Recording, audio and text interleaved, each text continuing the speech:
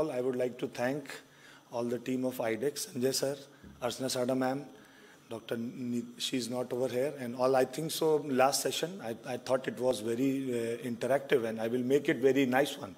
So let us let us think with the pioneers. All Dr. Pandikar sir, Dr. Rajiv Shala, uh, everyone is over here. So I can just tell what I am doing at my part. So just as base, I think so, of insulin pump, you all have heard about insulin pump and insulin pump therapy at present in our country is also roaring. All the, all the people who are practicing diabetes, they have always a dream to start insulin pump in some of the needy patients whom when insulin high doses are going on, type 1 people. So just laying down the basic stones about uh, insulin pump therapy these are some specific words, specifically tips for successful patient and physician experience. What is specifically what, what we can share with the person who is using pump, what he comes to us, what is his considerations about pump therapy. He thinks now I am using this therapy and accordingly now I'll be a non-diabetic. So a realistic approach towards this science has to be progressed because this is artificial intelligence and it is leading the world and we have to insulinize the people. So the good physician treats the disease. The great physician treats the patient who has the disease. And these are some important words which we should keep while prescribing any, any therapy to our person. This was a design of the first insulin pump which was installed. And nowadays we know the insulin pumps available. There are some fashion shows also going on with insulin pump wearing. And each and everyone who has the pump and all the type 1 children who are progressing towards, we have insulin pump education programs. So it is now a Delma of insulin pump display. Then this has been the history all throughout of insulin initiations, the devices, the technologies, the AIs, the artificial intelligence which we are lying at present 2022. So the expectation again increases, but the recommendations made for insulin pump therapy will always remain the same. The continuous subcutaneous insulin infusion is justified for basal and bolus insulin therapy in people with type 1 diabetes. Only providers who practice can assume full responsibility for the comprehensive pump management program should offer this technology. Because I have been seen since past 12 years, I have been offering this technology and in my state, I have reached about 100 people who are using insulin pump therapy or you can say artificial pancreas, which nowadays is, but all throughout the journey of 12 years, this is my experience, if we are not evolving a proper insulin therapy team at our center, which includes a physician, a trained person who is known as insulin pump technician, a nurse and educator to handle these people because these are device related. There are many issues which in further comes in logic and it, it is not logical to manage everything. So we should develop a team. Appropriate patient selection is necessary and must include thorough assessment of patient's knowledge of diabetes management and other principles. Now, ideal candidate is a type 1 person intensively managed in insulin dependent type 2, then currently uh, performing more than 4 insulins a day. This has to be taken. He must be on MDI that it, it is not right away the, on the first go we are offering an insulin pump therapy and if he is type 2 then also he must be having a higher units of insulin consumption more than 100 and he is having a realistic approach of doing SMBG approximately four times a day. So these are the right candidates to be chosen for pump therapy which will not discard the therapy within six months. They will not come back and say doctor you tumne mujhe phasa liya. Ye kya tumne mujhe pakda diya? If you are achieving a particular patient you have to make in consideration he is he fit for the therapy or not if he is not fit for therapy, don't give this insulin pump therapy. Otherwise, it will be a not be a boon to him. It will be a curse to all the system and the society. So the choosing the right patient is very much necessary now. Now, willing to maintain frequent contact to the healthcare provider and your team and education which you are giving for insulin pump therapy. Pump use in hospital settings, this has to be taken in count. We have in our emergency room, ye tamjam hata do. It is illegal, medico-legally, you will be sued for doing this for a type 1 person. So there are certain guidelines which we have to follow. We don't have Indian consensus, but this can be, this has been experienced by me and I was very much annoyed by a physician who just discontinued the pump for a simple procedures. So at emergency room or the hospital administration, should the patient not be able to manage his or her pump, the specialist responsible for the patient's ambulatory pump management should be contacted promptly and make decision about infusion adjustments. Hospital patient, hospitalized patients and their admitting physicians should encourage not to discontinue the pump infusion and should consult the specialist as needed. Now, these are some recommendations by AD, American Diabetic Associations. they say that if there is a critically ill patient whom, whom you want to, uh, you, you have to treat in ICU, then you have to, transaction of this insulin pump has to be on IV insulin. And if they are undergoing some surgical procedures more than two hours, then also you can just, uh, just shift them onto the uh, IV insulin infusion. If not, if the procedure is less than two hours, you need not to change the pump. You do not have to discontinue the pump. Just you have to take certain precautions for that. For X-ray, the pump should be covered by a lead apron. For MRI, the pump and the material of infusion should be removed because it is having metallic contents. Then in ultrasound, there is no need of removing the pump. Just do not, the probe should not be pointing the pumps. Uh, otherwise, there are some settings which can be distorted. Then cardiac catheterization, the pump should be covered by an apron. Then for uh, pacemaker implantation, AIDs, the pump should be covered by lead apron. Then for colonoscopy and laser surgery, the pump should be remain in place. So these are some procedures which we should see. Now, what is the role of the physician? The physician's role is insulin adjustment, basal rate testing, bolus type guidance, correction formulas. These have to be educated to all our type 1 persons or all uh, type 2 also who are taking. So carb, uh, carb calculations, insulin sensitivity factor, carb to insulin ratio, correction ratio, the small setting, not more than 15 to 30 minutes it takes in local regional language to explain how they can calculate their insulin sensitivity factor.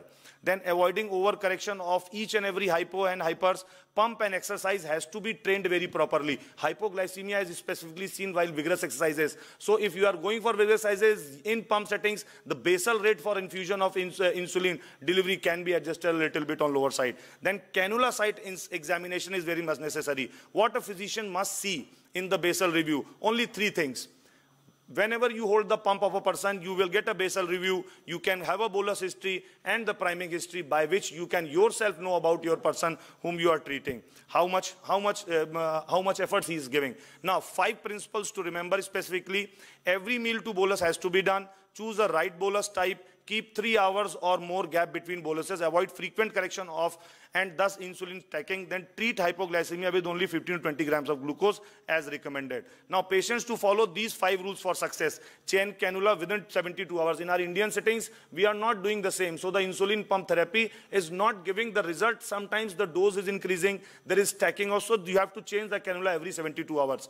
Now, rotate the cannula site insertion. SMPG, cell monitoring of plasma glucose is very necessary sometimes for the corrections. Then each meal and, and except excise carbs should be not be covered with insulin. Never suspend the pump more than one hours. This was specifically for those pumps which were till date available and we were not having this artificial pancreas. Now, as we are having this 780G, that the system has changed. Should, before prescribing this insulin pump therapy, so pump first or CGM, so start with the CGM to know about the glycemic variability of that person, which helps in fine-tuning and insulin needs. Then add the pump to your therapy. Now, what are the specific CGM at present in our? We have this CGM Professional, then we have this Abbott Freestyle Libre, Flash Personal uh, uh, Continuous Glucose Monitor, we have Medtronics, Guidance, then we have this Gluconova at present, Circa, which shows uh, this type of display over the mobile. Now and we are entering into a digital diabetes era. What is this digital diabetes era? These are some dreams which are coming true all throughout.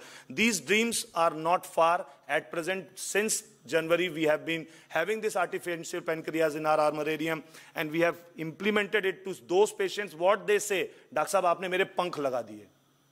They are each and every bolus is being given artificially by self-monitoring of these algorithms and this is a governed pancreas. So artificial pancreas works in this manner. There is a continuous glucose CGM sensor. Then that senses and gives the data to the reservoir, uh, receiver, which is, uh, which is uh, having its algorithm. Then algorithm Accordingly, it is directed towards the pump and the pump infuses the insulin as so required. Now, this is a bionic pancreas. There is a difference between artificial pancreas and a bionic pancreas. In a bionic pancreas, there is a continuous glucose monitor which senses the hypos and at the time of the hypos, the, there is a glucagon pump also which infuses the glucagon and accordingly the hypos are managed and then for, further the continuation for the pump is there. Now we are having some smart more bionic pancreas available. Might be this is the future for bionic pancreas in the world and specifically this is one of the bionic pancreas which is coming into be as, as a, in commercial markets also. This is being developed by a father who himself is a doctor and he is making this bionic pancreas for his son. So now the dreams are not not very far. But at present, this dream has become a success in our country, and we have been prescribing to many of them. So I have approximately used two of these pumps to my people in my state, and they feel that, Dr. Sahib, aapne mere punk laga diye, now I'm very free. There are algorithm-based studies, and according, now the main topic comes. This is how it looks like. Uh, each and every type 1 child of R who is being managed on MDI, this is a dream for them, but the cost of the pump, the pharmacoeconomics in the country at present is serving a very great problem. The consumption, the overall using and the uses is approximately 11,000 rupees per month after buying this pump. The consumables, the sensors, the tubings, the changings, it takes 11,000 rupees per month and the expenditure of this pump is approximately 6 lakh rupees. So it is impossible for each and everyone to consume it. But, but at least those people who are trying to buy a new car for themselves and they are having MDI, they can buy this pump to keep their car safe. So this is my protocol. Who can afford this therapy should take it at once. Do not prick yourself for four times. It is not at all necessary. So it is the responsibility of us as a physician to not keep this financial dilemma in our mind that it is an expensive therapy. Now with this, it is coming soon. Now there are some more things available. Might be in, in March this year. It will be available in our country also. There will be cradle pump. Cradle pump is a pump that is a patch pump. This, this is a patch pump specifically which doesn't have any tubings. It will be having a cradle and you will not be throwing. At present also these type of pumps are available which are known as Omnipod but you have to throw the, exp the expense of that motor, the reservoir, all is bared by the, uh, the person who's getting the treatment. So now we have a use and throw system discarded. This is a cradle which will be coming. It will be loaded with a cannula and there will be a permanent reservoir. So the cannula part will be discarded after every five days and each and everything can be used. And you do not have to have tubings, those long tubings which are very impossible to carry. So the, the future is coming more brighter. These type of pumps available, these are going to be launched within March or April. So the science is promoting us to take a leap to move forward. So with my these words, patient, diabetes, education and pump training should be implemented my, uh, with multidisciplinary team under a direction of an experienced insulin pump physician. Now, so how to counsel this was a paper which we presented in SPAD and it was an oral paper which I presented. It is one of its kind all over world. It was for the first time we did this. We did this. The background was there. There has been always a multi uh, misunderstanding in mind of our patients for insulin pump therapy even after being persistently advised by us. This is a common thing. Now, pump initiation is in non-government approved setting is always a problem. We look entirely different initiative for pump education and initiation in type 1 people. So for the first time in the history of insulin pump therapy, we have used this method. So the aim was to compare the impact of insulin pump initiation group versus individual installation. Three hours insulin pump training program was organized for patients to educate them about insulin pump. In this program, type 1 people next to their kin, paramedical staff and diabetic educators were included and also those people who were using insulin pump therapy were also involved in this, in this group training. So, patients included for insulin pump were high level on insulin, who were having glycemic variability, nocturnal hypoglycemia and uncontrolled diabetic and they were using MDI. So patients were taught about insulin pump, how it is applied, how to take the bolus, how to change the refills, insulin reservoirs. Patients were educated about carb calculation and insulin dose within a single single program of two hours. The things were done and under one single roof, kin, next to the kin, the pump educator, the people whom we try to educate and who are already using insulin pump therapy, this method was used for the first time. And mind you, a case control study was done. A common questionnaire was designed in these people. Pre and post training sessions were there and these questions were evaluated. The evaluated results, eight patients were ready to get insulin pump installed. Four patients were ready to get insulin pump installed. Two, but due to lack of affordability, they postponed the installation. But after this this is the slide which I would like each and everyone to consider. And who are listening online, these are some basic questions while giving training pre, before giving the training for insulin pump therapy, you have to ask from them. So what are these questions? Have you heard about insulin pump therapy? Are you aware of insulin pump controls the sugar levels? Do you know about basal and bolus insulin? How much your low sugar level worries you? Does your sugar level fluctuate? Do you suffer from low sugar level at night without your knowledge? Does insulin injection affect your daily routine? Are you afraid of injection pricks? Is insulin pump a mean of a rich people? Is insulin pump a requirement?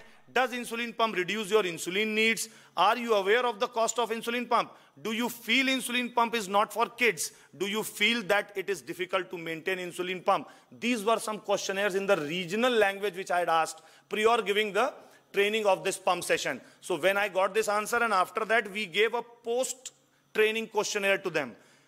What was the workshop useful? Do you consider the use of insulin pump easy? Do you prefer using insulin pump in future? Will the pump save you from a, a sudden low uh, sugars? Can the insulin pump improve your daily routine? Do you think insulin pump is a means of a rich people? Do you consider insulin pump useful for kids? Do you still think that the maintenance of insulin pump is a problem? And after getting these answers, it was for the first time in the history of insulin pump therapy, we installed eight pumps at a go and four were ready to get it installed on the next day. So in total, with one training session, we installed 12 pumps. So what it says, it says that, and, and, and what did they do? All of them took their, those who were not ready also, they took the mobile numbers, they made the WhatsApp group, and so the group installation group in which the time uh, for convincing them was only one session. And for those whom were, we were individually doing it, it took four to five sessions. Seven out of eight were self-motivated. None of them who were doing individually were ever self-motivated. They always thought it is only I am there in the world whom the doctor has prescribed this. And mind you, the education level was not mattering. So in last, with the conclusion, the group installation, the take-home message, whenever you want to educate people for insulin pump therapy, so it is group installation of insulin pump is superior to individual installation Peer interaction helps in strengthening and learning the process and smoothens the insulin pump management. With this, these are my some last words which I always say. नापो तो जानो शक्कर से ज़्यादा मीठी है ज़िंदगी life is more sweeter than sugar check to no thank you